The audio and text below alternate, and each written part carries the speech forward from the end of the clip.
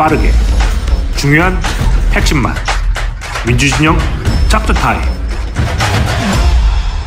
최고위원께서 좀 불편하실 수 있지만은 제가 이제 드린 질문은 이겁니다. 이른바 청년 수박. 어떻게 해야 됩니까? 이제 그런 흐, 이 흐름으로 흐르지 않고 어, 청년답게 개혁적이고 진보적이고 굉장히 투쟁성도 선명하고 이런 식으로 좀 양성이 돼야 되는데 어느 순간에 줄 서려고 하는 막 이런 음, 네. 느낌으로 흘러가는 경향이 사실 있었잖아요.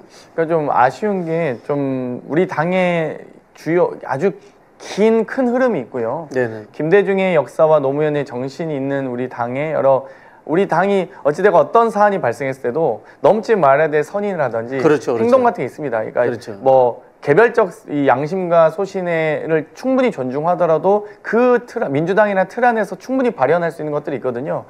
그런데 약간 이제 뭐 쉽게 당에 들어오거나 쉽게 이제 역할을 맡으신 분들은 뭐 예를 들면 저 같은 경우는 사실 상근부대변이 그 흔하다고 하는 상근부대변도 한 번도 못 해봤고요.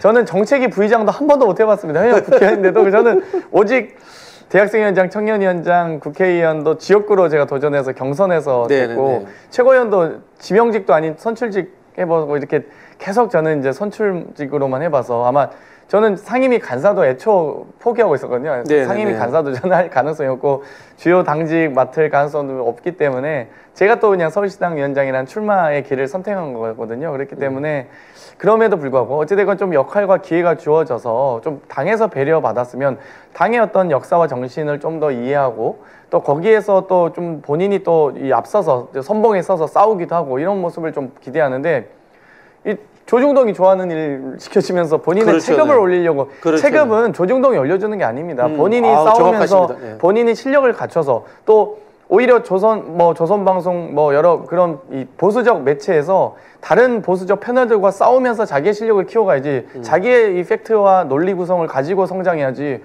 아니 그냥 거기서 몇, 몇 마디 했다고 해서 하, 막 양심 있는 소신 있는 정치인이 나왔다고 이렇게 막 띄워주면 그게 자기가 체급이 커지는 게 아니거든요. 이용당하고 버려지는 겁니다. 예. 단문 숨을 숨을 빠지면 다 버려지거든요. 그렇기 때문에 저는 이제 앞으로 뭐 젊은 정치인이든 정치 신인이든 뭐 연세가 많은 정치인이고 젊은 정치인으로 달 떠나서 당의 역사와 정신을 벗어나진 않았으면 좋겠습니다.